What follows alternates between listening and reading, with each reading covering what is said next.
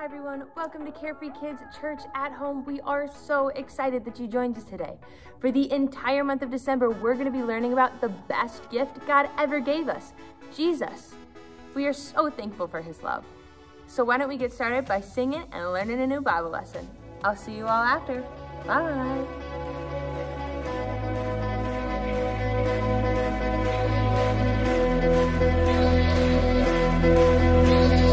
With me rising sun, with me when the day is done. The kindness of your heart, the kindness of your heart, never failing in the night. In your presence, I will find the kindness of your heart the kindness of your heart,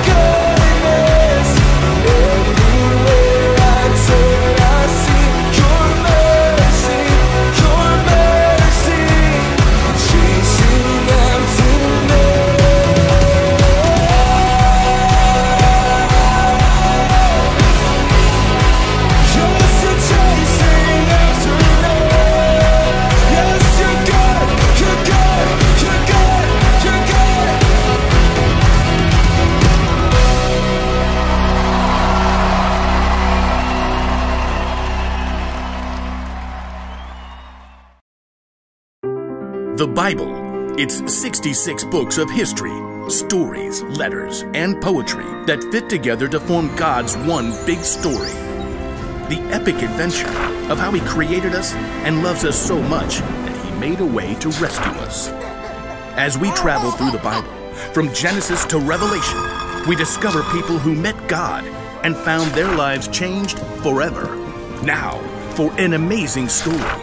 Inspired by the book of Matthew, chapter 2, verses 1 through 12. When Jesus was born, there was a group of wise men who lived in the Parthian Empire, far to the east of Jerusalem. Now, no one knows why these wise men were looking for a special star, but it could have happened this way. Hundreds of years before, God's people had been defeated and taken as exiles to Babylon.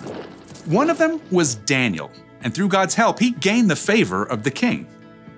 You will rule over Babylon and take charge of all the other wise men. Now, Daniel held this important role for much of his life, even after Babylon became part of Persia. During this time, he shared his love for God and his knowledge of Jewish scriptures with the other wise men. The Lord is the one true God. He has told me many things that will happen. Over hundreds of years, some of the wise men in Persia continued to study Jewish scriptures, even under different rulers. Many of them may have even remembered Daniel. So when several wise men discovered a brand new star, they knew it meant something important. Look, there in the west. It's a new star rising. Now, we don't know the names of these men or really exactly how many there were, but we'll call them Melchior, Casper, and Balthazar. A new king, maybe? Oh. Ooh, ooh. Can we have a party? The wise men hurried to the archive room, where they dug through dusty scrolls to find the writings of Jewish prophets. Ah, here are the words of Daniel. God had given Daniel some strange visions of a savior who would come and rescue the Jewish people. The time he tells of could be right now, depending on how you read it. So, party time? And look here in the scroll of Numbers. A star will come from among the people of Jacob. A king will rise up out of Israel. The star, the timing. I think this is it. Party time! These wise men did far more than just throw a party. They planned an epic road trip to honor the new king in his own land. I'll pack up the food. I got the heart for some road tunes. Who's got the camels? Well, you can handle them. I got the party gifts. The wise men packed up beautiful gifts worthy of a true king. Then they set out on their long journey across the desert. Due west. Follow that star. Oh, I would walk 500 miles and I would walk 500 more. Yeah, I think I'm ahead of my time. After many long weeks, the wise men neared the city of Jerusalem. Surely someone will know of this new king. The wise men entered the city, causing a stir with their fine robes and curious questions. Where is the child who's been born to be king of the Jews? We saw his star when it rose, and now we have come to worship him. And we got party gifts. In the palace, King Herod heard news of the foreigners, and he didn't like the sound of a new king. Outrageous. King Herod called on the chief priests and the teachers of the law. Where is this Messiah supposed to be born? Uh, please note my air quotes. In Bethlehem. Humph. Humph. How do you know? They are Prophet Micah, Your Majesty. He says, uh, uh, But you, Bethlehem, in the land of Judah, are certainly not the least important among the towns of Judah. Uh, a ruler will come out of you. Uh, he will rule my people Israel uh, like a shepherd. Oh, well, I see. Uh, Have these wise men come see me. Uh, Keep it on a down low. Soon, the wise men were ushered into the palace. When did this special star appear? At the perfect time for a party. I want you to go to Bethlehem for me. Uh, Search for this child and uh, report back when you find him. Uh, Then I can go and worship him too. Please ignore the air quotes. So the wise men left the palace and immediately continued their journey, following the star for several more miles. Look, it's resting over that little town Of Bethlehem. and that little house. In Bethlehem. Time to party. The wise men soon arrived at the little house where Jesus and his family were staying. Mary and Joseph welcomed them in, and the wise men bowed low before Jesus, who is now a toddler. We brought gifts. The wise men brought out their carefully packed treasures. Gold? Frankincense. And this is myrrh. These are gifts for a king. Precisely. Absolutely. Oh, yeah.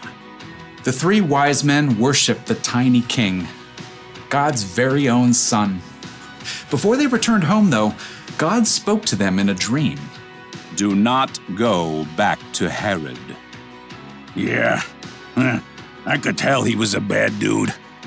So the wise men took a different road, bypassing Jerusalem, as they returned to their own country.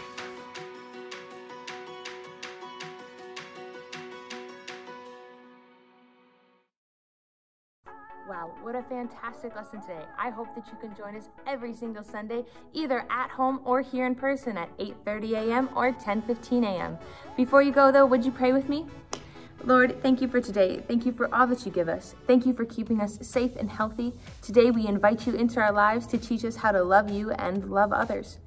We love you in your name. Amen. Thank you all for watching. We'll see you next week. Bye.